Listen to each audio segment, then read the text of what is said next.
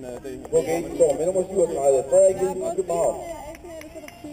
Med nummer 402, Jonas Larsen, København. 037, Frederik Kalmund, Roskilde. Nummer 400, Anders Krohmann, København. Nummer 808, Markus Jørgensen, Kalderborg. Nummer 800, Mathias Johansen, Kalderborg. Og og herrer, med nummer 401, Markus Sultani, København. Jeg tænker, han blev jo øh, han blev svægtet, at han det burde han jo været i ben, men det har han jo ikke. Jeg ved ikke, om det er der, det speedingen bliver brugt. Aner ikke, jeg forstår det ikke. Ej, var det ærgerligt for Jacob, det var. Øh. Once again, Frederik Nielsen, København vandt superstar. Frederik Nielsen, mine damer og herrer, der er. Frederik Nielsen, København der.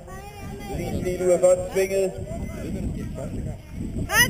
Frederik Kalmund, Roskilde på en anden plads. Og Jonas Larsen, København på tredje plads. Vi har Markus Jørgensen, Kalderborg, Mathias Johansen. Også Kalderborg på fjerde femte plads. er Frederik Nielsen, der tager den her. Det her fjerde heat hedder det. Stærkt gjort under. Så bliver der byttet lidt rundt, og der er angreb der.